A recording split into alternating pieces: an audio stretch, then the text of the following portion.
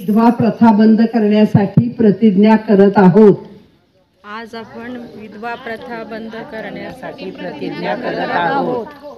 मी अशी प्रतिज्ञा करते की मी अशी प्रतिज्ञा करतो की आजपासून मी कोणत्याही महिलेचा पती मृत्यू पावल्यास तिचे कुंकू पुसणार नाही. तिच्या बांगड्या फोडणार नाही. तिच्या गळ्यातील कोणतेही अलंकार काढणार नाही. ज्या महिलांच्या पतींचे निधन झाले आहे. अशा महिलांना माझ्या घरगुती कार्यक्रमामध्ये सामावून घेऊन इतर महिलांप्रमाणे सन्मानाची वागणूक देईल आजपासून विधवा प्रथा बंद करण्याच्या ऐतिहासिक वैचारिक लढ्यात माझा सहभाग असेल. जय हिंद.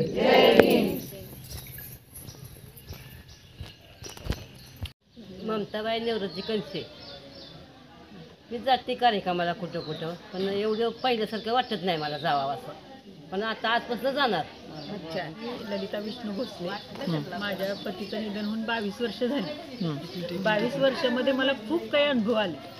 पण त्याच्यामध्ये सगळ्यात जास्त वाईट वाटण्यासारखे अनुभव म्हणजे लग्न कार्यात वगैरे असतात ना तिथं प्रत्येक वेळी बाबा मागं सरकून उभा राहावा पुढे जायचं नाही हळद लावायची नाही हे करायचं नाही ते करायचं आणि लई वाईट वाटतं.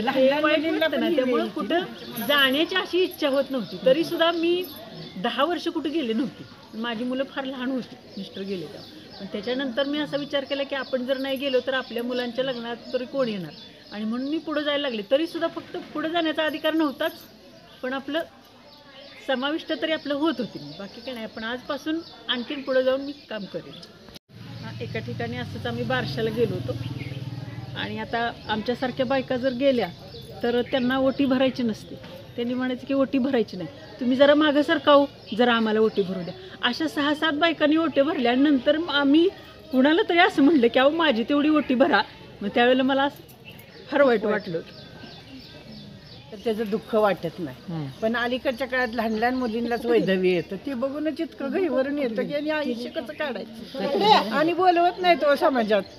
बाजूने गेले तर म्हणतात नको जायला नको तिच्याशी बोला ही बुडकी गेली पुढनं काम होणार नाही. आणि त्या मुलींच्याकडे बघून एवढं घहीवरून येतं. म्हणजे स्वतः मला सुद्धा येतं की अशी वेळ मुलींच्यावर येऊ नये. वयामानानं झालं तर त्याचं दुःख नाही वाटत.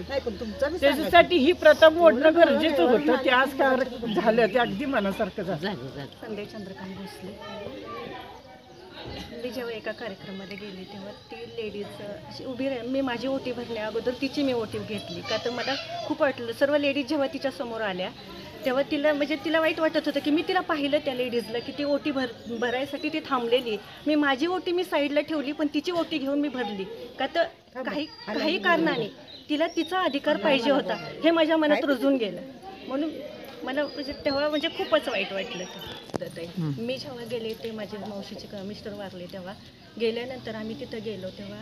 ते सगळा कार्यक्रम झाला. आणि जेव्हा नेण्याची वेळ आली त्या लोकांची अशी पद्धत आहे की जेव्हा ते प्रेत असतं तेव्हा त्या प्रेतावरच ते सगळं त्यांच्या द्यायचं असतं.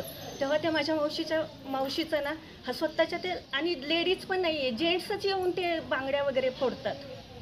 बांगड्या गळ्यातलं फोडलं फोडलं तिचं म्हणजे जोडवी काढून घेतली. तिची इतकी अवस्था विचित्र होती की विचारू नको एवढी होती अवस्था. ती शेवट बेशुद्ध पडली. शुद्धीवर सुद्धा नव्हती. म्हणजे ही प्रथा अशी आहे की आज समाजासमोर असं का? समाजासमोर असं केलं नाही पाहिजे. समाजाने असं की जेंट्सनी लेडीजनी कारण कारण कशासाठी? हा? जर त्याच वेळेस जर तिचं काही झालं असतं तर? म्हणजे असं वाटतं ना समाजात म्हणजे की किती वाईट आहे हा प्रसंग?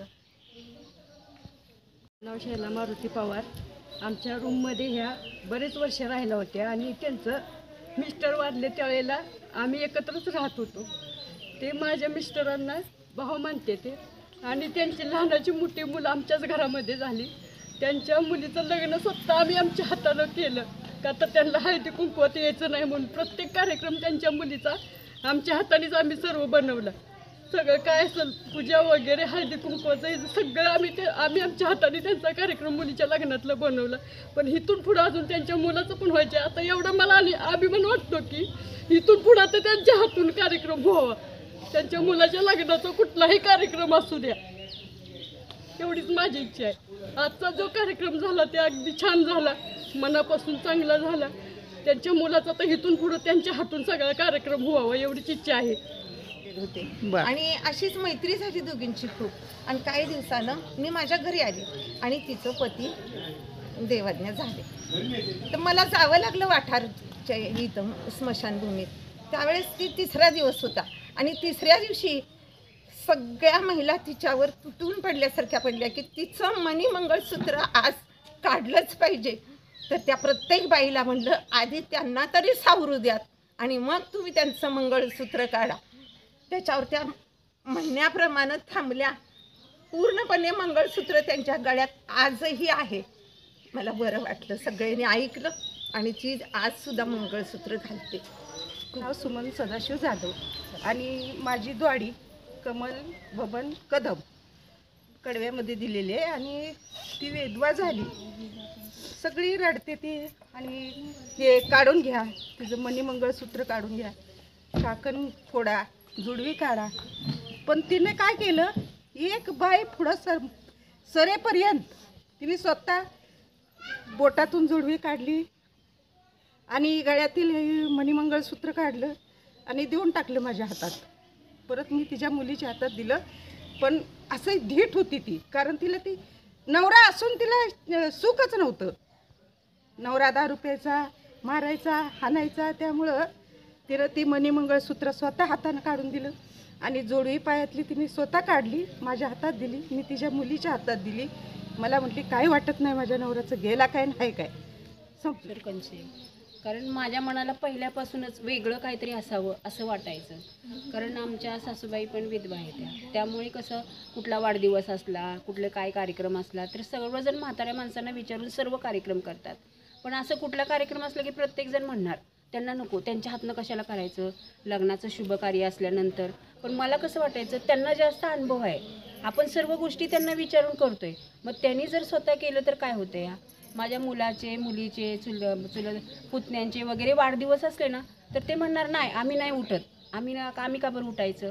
पण मी नेहमी प्रत्येक वेळेला त्यांनाच पहिल्यांदा मान देणार. जरी माझ्या माहेरी जरी वाढदिवस असला जरी साजरा केला तिथं तरी माझ्या आईलाच पहिल्यांदा उठवणार. का? तर बाबा आज आपण त्यांच्यामुळे आपण आवाज उभा आहे. आणि आपण असं जर केलं तर त्यांचा आदर आपण काहीच ठेवू शकत नाही.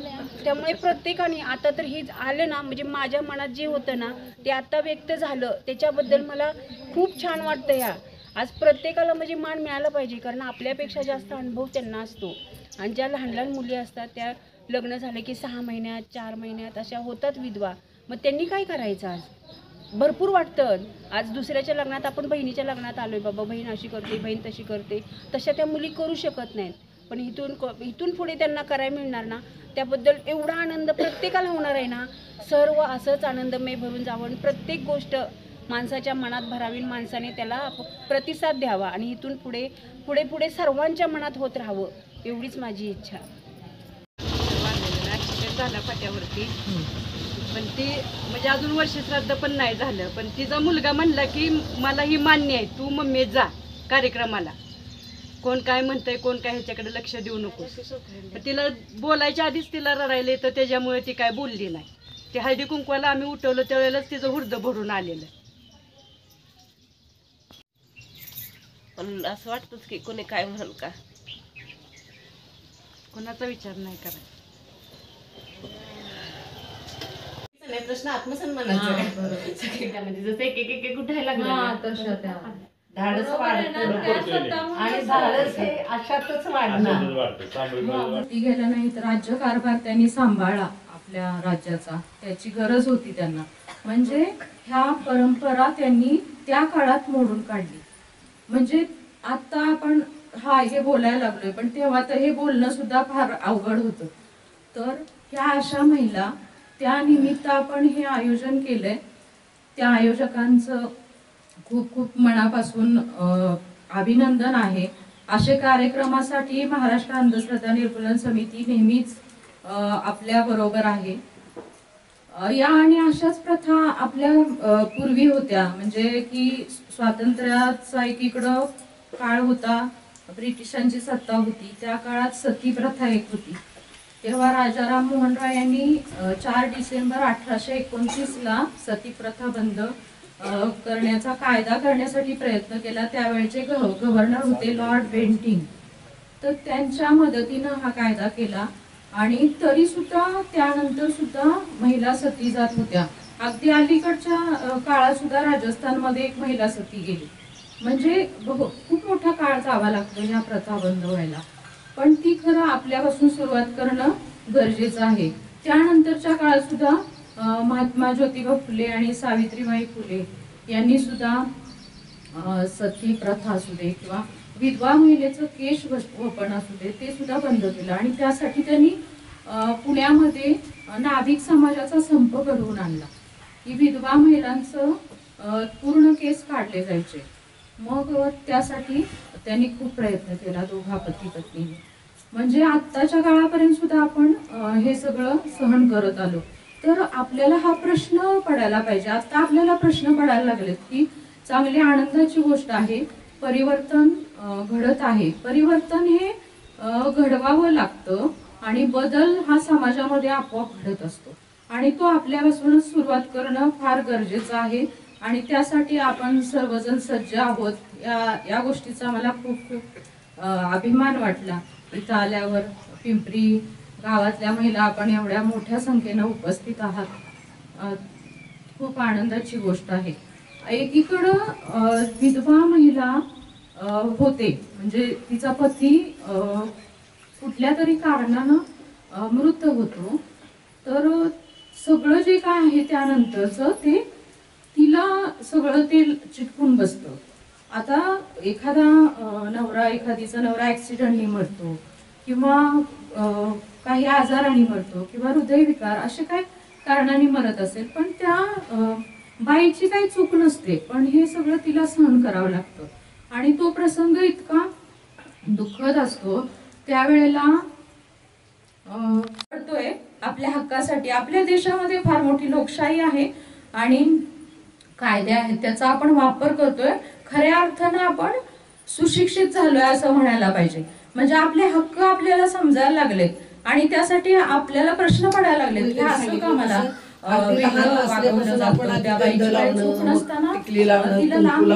कुठल्या शुभ कार्यामध्ये बोलावलं जात नाही.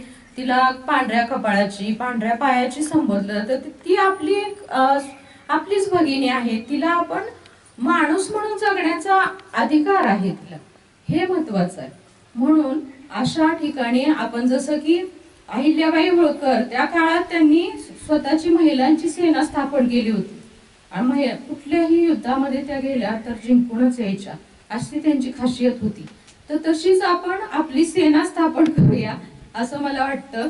आणि आपल्या भगिनीला असा कुठला प्रसंग असेल तर प्रेमानं सांगूया की तिला जर वाटलं तर ती काढेल तिचं. तुम्ही काढू नका कोणी. असं शांतपणे आपण सांगूया. आणि आपल्या ग्रामपंचायतीनं पहिलं की हेरवाडच्या ग्रामपंचायतीनं हा निर्णय घेतला. त्यांचं महाराष्ट्र अंधश्रद्धा निर्मूलन समितीकडून खूप स्वागत झालंय. त्यानंतर माणगावच्या ग्रामपंचायतीनं हा ठराव केला विधवा प्र प्रथा बंदीचा आणि ह्या सगळ्या घटनेमागं फार मोठा इतिहास घडला. आणि मोठं परिवर्तनाचं पाऊल पडलं. आणि महाराष्ट्र राज्य शासनानं हा निर्णय आता घेतलाय. म्हणजे महाराष्ट्रातल्या प्रत्येक ग्रामपंचायतीनी हा निर्णय अंमलात आणावा ही अपेक्षा आहे. आणि त्यासाठी महाराष्ट्र अंधश्रद्धा निर्मूलन समिती आपल्या बरोबर आहे प्रबोधन करण्यासाठी. आणि ही चांगलं पाऊल आहे की सावित्रीबाई फुलेंनी त्या काळात शाळा काढली. अगदी तेव्हा म्हणजे खूप त्यांना त्रास सहन करावा लागला तो सर्वांना माहीतच आहे. बसलेले मान्यवर तसेच इथं पिंपरी गावातील उपस्थित असलेल्या सर्व महिला. खरं तर माझं मास्टर ऑफ सोशल वर्क होऊन सुद्धा मी आज पहिल्यांदाच या कार्यक्रमाला म्हणजे अशा कार्यक्रमाला उपस्थित राहिली आहे की फील्डवर्कला असताना सुद्धा आम्ही असे कधी कार्यक्रम अरेंज नाही केले. पण आज मला असं वाटतं की खरंच संविधानानं दिलेले हक्क महिलांसाठी जसं एक महिला स्वतःच्या स्वतःच्या नवऱ्यासाठी भांडू शकते हा तुम्हाला अधिकार आहे. किंवा स्वतःच्या मुलासाठी भांडू शकते हा तुला का नाही तो अधिकार? तसंच स्वतःनं स्वतःसाठी जर विचार केला की हा मला अधिकार आहे आणि मी त्याचा स्वतः स्वतःसाठी चांगल्या पद्धतीनं वापर करा वापर करायचा असला तर मला त्या अधिकाराची जाणीव असली पाहिजे. स्वतःवर होणाऱ्या अन्यायाला जर तुम्ही एक उठाव केला स्वतःहून स्वतःच्या घरात बोलला बाहेर समाजात जर बोलला स्वतःसाठी एक उचललेलं पाऊल आज उ- आज ना उद्या तुम्ही एक शूर महिला म्हणूनच ओळख जाईल. त्यासाठी तुम्हाला अहिल्यादेवी होळकर तारा ताराराणी होण्याची काहीच गरज नाही. स्वतःच्या घरात स्वतःच्या समाजात स्वतःच्या मैत्रिणीला स्वतःच्या सासूला किंवा स्वतःच्या जावेला तुम्ही दिलेला एक अधिकार आणि स्वतः मिळवलेली एक ठिणगी ही सुद्धा एक शूरवीर महिलेचेच लक्षण आहेत. तर त्याच्यावर आमटी वरण वगैरे काही घ्यायचं नाही. भाकरी खाई आणि एक वेळेस जेवायचं. भाकरी खायची असेल तर ती गोमूत्रामध्ये कालवून खायची. नुसती कल्पना केली तरी आपल्याला कसं तरी वाटतं? आणि ते लहान मुलगी ती कुठेतरी चार वर्षाची पाच वर्षाची फार तर दहा वर्षाची. म्हणजे अगदी पाळी सुद्धा आलेली नाही अशा वयाची मुलगी असली व्रत करायची. तो बिचारा आजारानं त्यावेळेला औषधोपचार इतर नसायचे तो जायचाच. आणि नंतर तिला इतके बाकीचे त्रास सहन करावे लागायचे. म्हणजे जन्माला आल्यानंतर सुख कशाला म्हणतात ते कळायच्या आतच तिचं सगळं ओरबाडून घेतलं जायचं. आणि हेच प्रकार ब्राह्मणांच्या तर डोक्याचे केस पण काढायचे अलवाण नेसायला द्यायचे. बाकी इतरही सगळ्या जातींमध्ये सुद्धा फारसं विधवा पुनर्विवाह करण्याची प्रथा त्यावेळेला नव्हती. आणि मग ते स्वयंपाकघरामध्ये कामामध्ये कुठंतरी तिला भाग घ्यावा लागायचा आणि आयुष्यभर इतरांची उष्टी खरकटी काढण्यात तिचं जन्म द्यायचा. कुठल्याही मुलाबाळांचं सुख आनंद कुठल्या चांगल्या कामामध्ये सहभागी होणं चांगले कपडे घालणं गजरा दागिने फुलं हे यातलं काहीही तिच्या वाटणीला यायचं नाही. आजही अशा पद्धतीनं जगणाऱ्या बहुसंख्य स्त्रिया आपण पाहतो. म्हणजे समजा तिनं घातलं तर उरलेल्यांच्या भुवया उचलल्या जा आता यांना काय करायचं? नवीन साडी आता काय करायची? आता कुणाला दाखवायची? काही इतरांना फक्त नवऱ्याला दाखवण्यासाठी साडी नेसायची असते का? आपलंही काहीतरी मन असतंच ना. माझी एक विद्यार्थिनी होती आणि तिची नुकतंच तिचं लग्न झालं होतं. तिला तिच्या अपेक्षेपेक्षा खूप चांगला नवरा मिळाला. आणि ती अतिशय आनंदात होती. तिनं एक स्वतः नोकरी करत होती. मी डी एड कॉलेजवर प्राचार्य होते. तर त्या कॉलेजमधली ती विद्यार्थिनी. त्यामुळे ती प्राथमिक शिक्षिका झाली. आणि तिला पगार पण चांगला मिळायला लागला. पाच सहा वर्षाचे तिचे काही पैसे शिल्लक होते. लग्न झाल्याबरोबर तिनं पहिलं काम केलं म्हणजे चांगलं जाडजूड मंगळसूत्र तयार करून घेतलं. दुर्दैवानं ते मंगळसूत्र घातल्यानंतर एक दोन चार वर्ष झाली असती तिचा नवरा काही कावीळ वगैरे अशा आजारानं लवकर गेला. आणि मग तिला ते काढायची अजिबात इच्छा नव्हती. बाकीचे लोक तिच्याकडनं ते काढून घेणार हे तिला दिसत होतं. नवरा आजारी असताना सुद्धा तिच्या मनामध्ये ते विचार येत होते. आपल्याला आता कुंकू लावता येणार नाही आपलंही गळ्यातलं मंगळसूत्र काढून घेतलं जाईल उद्या आपल्याला एखादा फुलाचा गजरा छ छोटस फूल खोचलं तरी लोक आपल्याकडं अशी काहीतरी वेगळ्या नजरेनं बघायला लागतील. आपल्याला कुठल्या कार्यक्रमात सहभागी करून घेणार नाहीत. आणि नकळत तिच्या मनातून एक हुंकार बाहेर पडला. तिनं लग ते नवरा गेल्यानंतर सगळ्यांना सांगून टाकलं की ते रात्री माझ्या स्वप्नात आले. आणि त्यांनी मला सांगितलेलं आहे की तू काही झालं तरी मंगळसूत्र काढायचं नाही कुंकू पुसायचं नाही बांगड्या काढायच्या नाही नाहीतर तुला माझी शपथ आहे. मला ते कळल्यानंतर म्हणजे बोलायची आम्हाला वेळच आली नाही हे कळल्यानंतर मला इतकी ती तिचा तो स्टँड तिनं घेतलेली बाजू इतकी छान वाटली. खरंच तिला अनेक दिवस विचार केल्यामुळे स्वप्न पडलं पण असेल तो स्वप्नात आला पण असेल आणि नसला आला तरी तिनं घेतलेला जो उपाय होता तिनं शोधलेला तो मला मनापासून आवडला. तिला कुणालाही न दुखवता आज तागायत ती मुलगी मला भेटते. ती माझ्यापेक्षा वयानं खूप लहान आहे आता रिटायर नुकतीच झाली. तर ती आजही ते मंगळसूत्र तेच मंगळसूत्र अजूनही तिचं कणकणीत तयार केलेलं अजूनही घालते अभिमानानं ते मिरवते. हा पहिला मुलगा झालाय ना कुठल्याही कामाला तिला पुढं बोलवायची. मग सौभाग्यवती म्हणजे नुसतं लग्न झालेली आहे नाही. घरावरती पाटी लक्ष्मीची नाही. तिचं भा नाव असतं वाटीवर चमच्यावर. बाकी नाही. तिला म्हणायचं शारदा तिला म्हणायचं सरस्वती. शाळेत जायचं नाही शिकू द्यायचं नाही. शिकून शहाणी झाली तर काय? सावित्रीबाईंचे आपण आभार मानले पाहिजे. सावित्रीबाईंनी हे सगळं केलं. ज्योतिबा फुल्यांनी आधी बायकोला शिकवलं. आणि त्या बाईनं इतरांना शिकवलं. कारण त्यावेळेला पुरुषाच्याकडे जाऊन शिकायची सुद्धा पद्धत नव्हती. म्हणून त्यांनी बायकोला शिकवलं. आणि ह्या सगळ्या गोष्टीतनं आपण पुढे आलो.